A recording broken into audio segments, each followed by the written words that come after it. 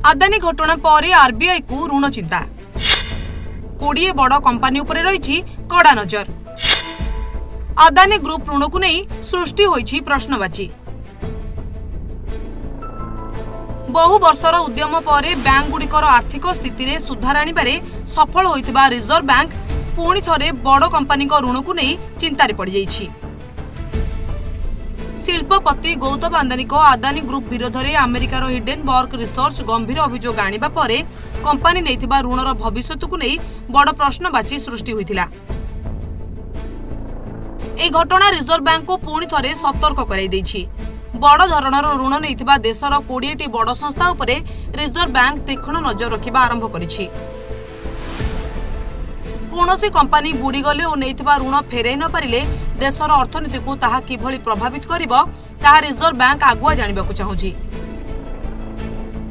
ଏମିତିରେ reserve bank ବଡ଼ ଋଣ ଉପରେ ନିୟମିତ ବ୍ୟବଧାନରେ ନଜର ରଖିଥାଏ।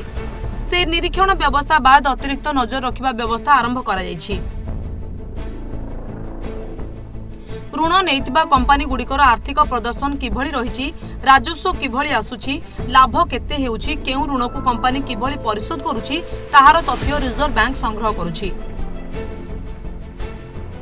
କର୍ପୋରେଟ୍ ସଂସ୍ଥା ବଡ଼ ଋଣ ନେଇ ଖିଲାପ କରିବା ଭାରତ ପାଇଁ କିଛି ନୂଆ ଘଟଣା ନୁହେଁ।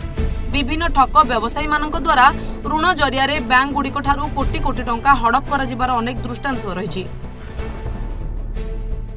ମଦ ବ୍ୟବସାୟୀ ବିଜୟ ମାଲ୍ୟାଙ୍କଠାରୁ ଆରମ୍ଭ କରି ନୀରବ ମୋଦି ଓ ମେହୁଲ ଚୋକ୍ସିଙ୍କ ପର୍ଯ୍ୟନ୍ତ ଅନେକ ବ୍ୟବସାୟୀ ଭାରତୀୟ ବ୍ୟାଙ୍କରୁ କୋଟି କୋଟି ଟଙ୍କା ଠକେଇ କରି ଦେଶ ଛାଡ଼ି ଚାଲିଯାଇଛନ୍ତି।